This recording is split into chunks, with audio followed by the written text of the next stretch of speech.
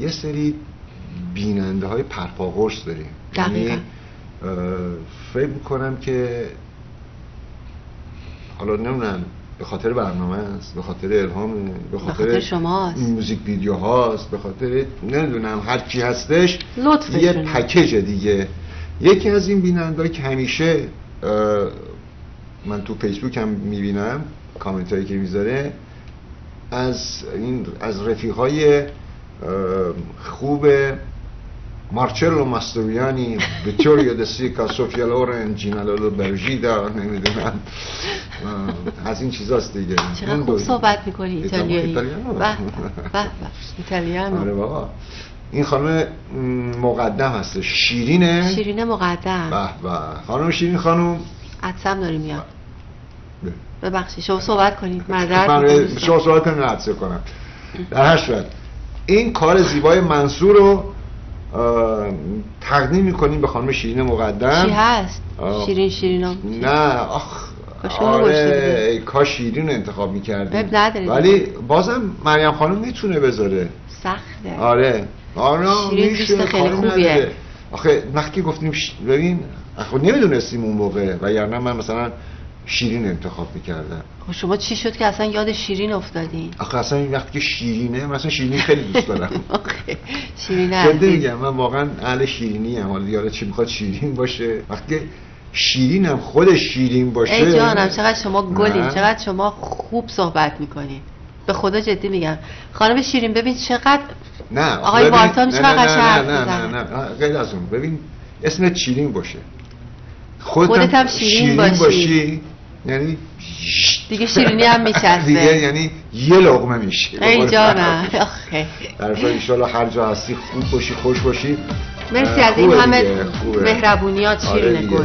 ما وقتی توی برنامه سعی می‌کنیم برنامه ما برنامه اینترتینمنته یعنی فقط این نیستش که میگیم آقا ما این آلبوم رو داریم ما برنامه رو به خاطر بیننده های خوب اجرا می‌کنیم. اگه برنامه بیننده ند- نداشته باشه اصلا خب دیگه میریم. اصلا دیگه شیرینی نداره شیرینی برنامه. نداره. دیگه. فهمیدی؟ پس بریم با اجازه شما یه ترانه خوش بریم ببینیم اگه مریم خانم شیرین پیدا کرده خب چه بهتر؟ نه؟ تقدیم به هرچی